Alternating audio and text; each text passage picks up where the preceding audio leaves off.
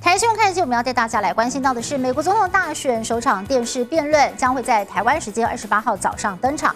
没有想到辩论会都还没有开始，川普的发言人呢就跟即将要主办这次这个辩论的 CNN 哦的主播给杠上了，在直播节目当中大打口水战，指控主持人立场偏颇，而 CNN 的主播最后决定中断连线。外媒就估计了，到时候啊，在现场这个辩论会恐怕是少不了恶言相向，仇恨值极高。更有专家评论，这将会是一场丑陋难堪的辩论会。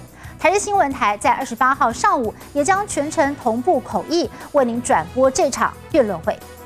美国总统大选首场电视辩论将在台湾时间二十八号早上登场。美国总统拜登跟前总统川普双方阵营都绷紧神经，全力备战。没想到辩论还没开始，川普的发言人就跟 CNN 主播杠上，在直播节目上大打口水战。It would take someone five minutes to Google Jake Tapper, Donald Trump, to see that Jake Tapper has consistently frequently likened President Trump to Adolf Hitler. Ma'am, I'm going to stop this interview if you continue to attack my colleague. CNN 派出两名资深主播负责主持辩论会，遭川普发言人质疑他们的政治立场鲜明，可能有偏颇拜登的疑虑。主播多次回应，同事相当专业，都有针对各党派报道，试图拉回访问主轴。不过发言人不改立场，主播最后决定强行中断直播。I am stating facts that your colleagues have stated in the past. Okay, now, uh, as I'm for sorry, this guys. debate, We're going to the come back out to the panel. for Caroline, thank you very much for your time. You are welcome to come back at any point. 选战白热化，四年前的拜川之争再次上演，加上双方民调纠缠，外媒预计辩论现场少不了恶言相向，仇恨值极高。更有专家评论，将会是场丑陋难堪的辩论。 So you have two men that have not debated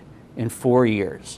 So you've got two guys don't like each other, haven't seen each other. 首场电视辩论在美国乔治亚州的亚特兰大举行，长达九十分钟。目前现场已挂起辩论会的布条，预计会有八千多万人同时在线上观看。拜川双方将针对不同议题攻防，如何发展全球关注。